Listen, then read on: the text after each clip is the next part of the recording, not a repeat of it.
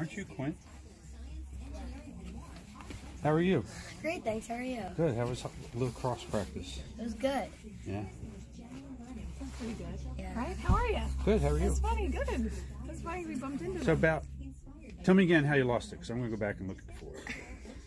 So, I was on the line, and um, the girl, we were playing football, and I got her, I touched her, and she was down, and she got mad at me, and she went like that, and like ripped my hoodie, and then uh, she also grabbed my cross, at, like my necklace, and went and ripped it. Sucks. Look like that.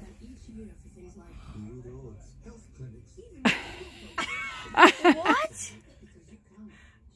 You found? I did. about five minutes after you left yesterday. you believe it, bud?